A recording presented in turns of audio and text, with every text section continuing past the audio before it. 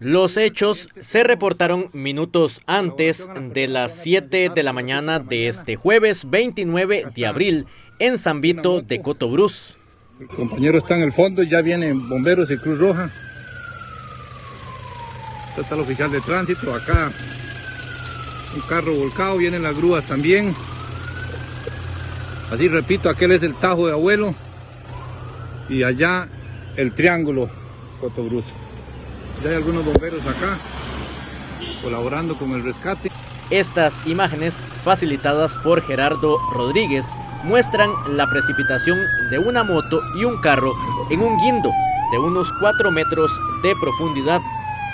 Unidades de Cruz Roja y bomberos se hicieron presentes a la escena.